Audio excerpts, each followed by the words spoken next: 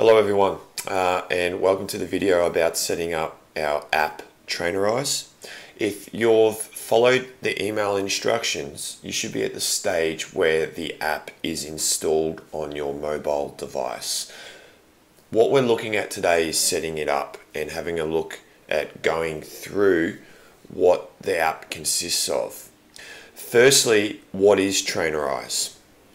Trainerize is an online personal training service that, that delivers programming to a client so that you can follow and record all of your training data.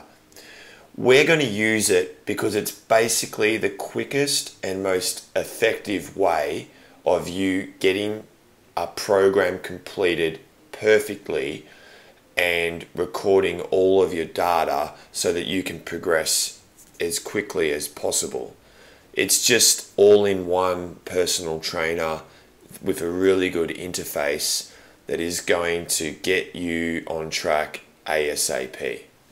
Let's have a look at the app. As you can see, um, I'm going to start on the home screen, clicking onto the onto the phone, and this is the main home page where you can see completed workouts, um, your current weight. If you swipe to the left, you'll get an overview of the program. This one just has a current program shortcut to strength. It'll list all the workouts going down as we scroll here and you can swipe back to the home screen.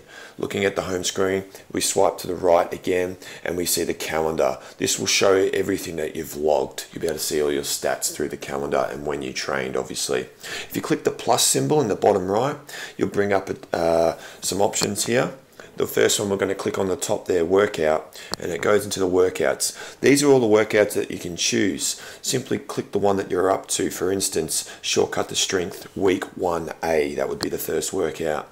So once we're inside the workout you'll get a description of the workout and you'll see the exercise list.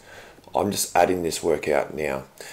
Inside you'll see the exercises and you'll see the weights and the reps that you can record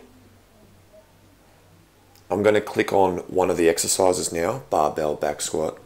Inside this exercise, you'll be able to see your previous stats if logged, a video description, and obviously a written description on how to perform the exercise.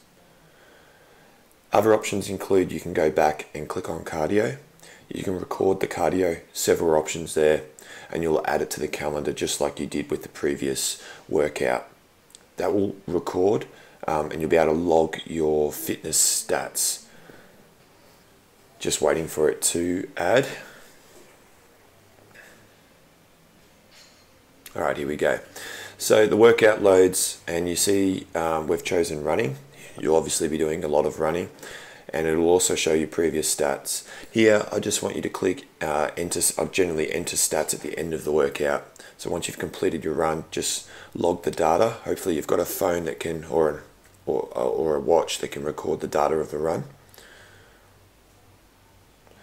Um, you can also track your body stats, which is going to be important, your height, your weight, your measurements, um, your body fat percentage. All of these are going to be pretty critical, so we want to keep a good eye on those and be recording those.